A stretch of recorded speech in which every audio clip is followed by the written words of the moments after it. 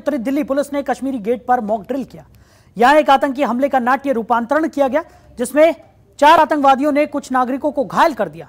कुछ निर्दोष नागरिकों को आईएसबीटी कश्मीरी गेट की पहली मंजिल पर बंधक बना लिया, जिसकी सूचना मिलते ही पुलिस, स्वाट टीम, फायर ब्रिगेड डीडीएमए सहित सभी एजेंसियों को संदेश भेजा गया।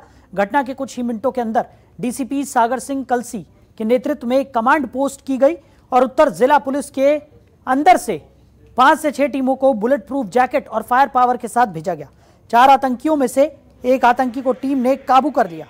दिल्ली पुलिस की स्पेशल सेल और स्वाट की टीम ने तीन अन्य आतंकियों को मार गिराया। चार बंदकों को सुरक्षित निकाल लिया गया और घायलों को सही समय पर अस्पताल ले जाया गया।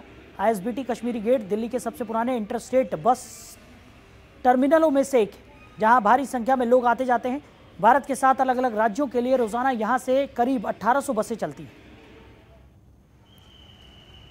देखिए ISBT is one of the oldest और highest footfall vital installations north में, जहाँ पे on a day 1800 plus buses interstate buses operate करती हैं।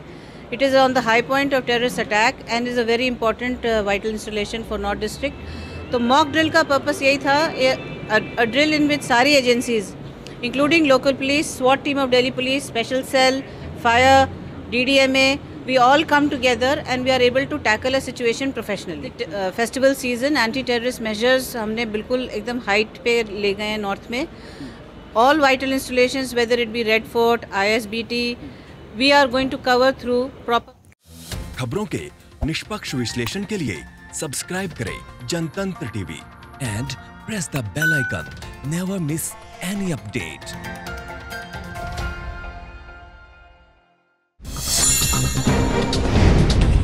download कीजिए जनतंत्र टीवी ऐप को, जो कि अवेलेबल है गूगल प्ले और ऐप स्टोर पर।